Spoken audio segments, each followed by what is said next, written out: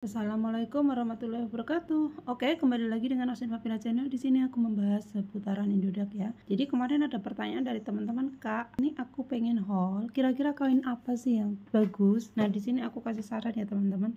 Jadi di sini aku ada beberapa koin yang udah aku cek ya. Dan di sini tuh harganya masih murah, koin micin itu PP ya. Nah, di sini PP itu harganya kan masih 0, sekian ya. Tuh DR-nya ya. Nah, di sini harganya kan 0,215160 ya. Di sini teman-teman bisa ngecek di sini. Kemarin aku ada pembelian tapi cuman 10.000 eh 20.000 dan sekarang udah 22.000 artinya kalau 10 misalkan eh, 10% itu kan berarti 1000 ya. Kalau 22 lebih artinya 20% ya. Jadi intinya misalkan teman-teman modalnya 1 juta nih uh, untungnya 20 kan udah 1 juta 200 nah seperti itu ya. Nah konsistennya kalau teman-teman pengen untung 50.000 per hari ya minimal teman-teman harus punya aja 5 juta di akun Indodax tapi kita tradingkannya hanya 1 juta saja. Nggak semuanya ya jadi cuman untuk jaga nih kalau harganya turun kita bisa serok dari bawah tapi nggak semuanya dibelikan ya. Untuk PP sendiri ini harganya kan masih 0,1105 ya 215160 ya. Nah, kalau IDR kita rupi dirupiahkan itu kita beli 10.000 aja atau 20.000 aja itu kan udah banyak banyak jumlahnya ya jumlah koinnya itu banyak. Dan suatu saat misalkan harganya ke seribu rupiah atau satu rupiah aja kan udah naiknya banyak ya seperti itu ya. Ini kalau untuk haul ya.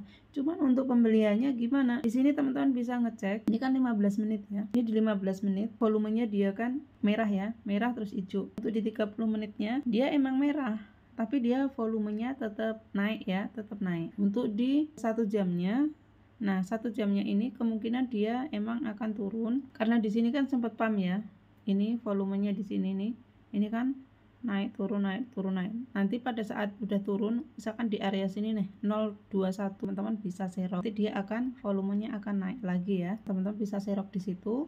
Terus teman-teman bisa ngecek juga di dua jam volumenya gimana. Kalau di satu jam ya terlihat seperti habis naik terus turun bakalan turun lagi tapi di dua jam di sini dia turun tapi nanti tetap akan naik. Kemarin habis dam ya.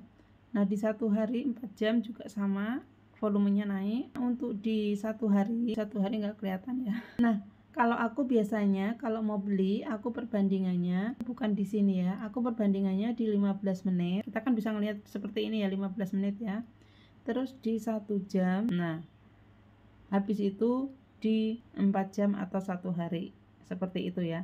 Kalau sekiranya dia akan naik nah teman-teman bisa ambil ya bisa ambil. Atau teman-teman bisa ambil posisi di 020 entry gitu ya atau di 021 itu nah ini tuh kan mumpung harganya masih murah jadi kalau teman-teman mau ngehol lama itu nyimpan aja sedikit ya beli aja sedikit gak apa-apa disimpan e, untuk jangka panjang ya. Kecuali kalau teman-teman mau nyari scalpingan kalau scalpingan itu kan kita target ya satu hari misalkan 50 seperti itu atau satu hari 100 kalau satu hari 50 itu kan satu satu bulan satu juta setengah ya. Tapi kalau satu hari 100 berarti satu bulan 3 juta. Nah berapa sih kalau kita pengen 100 ya minimal kita harus ada di akun 10 juta. Kalau itu aku ya 10 juta itu nggak dipakai semuanya ya. Kita paling pembelian itu satu juta aja. Satu juta aja kalau kita bisa profit 10% itu bisa 100 ribu ya. Kalau profitnya 5% 50 ribu emang seperti itu. Tapi kalau kita modalnya cuma 100 ribu kita mau untung 50 ribu per hari ya nggak bisa. Seperti itu ya teman-teman. Terus teman-teman untuk belinya juga pilih koin-koin yang benar-benar bagus ya nggak sembarangan ya. Di sini untuk PP aku saranin oke okay juga ya.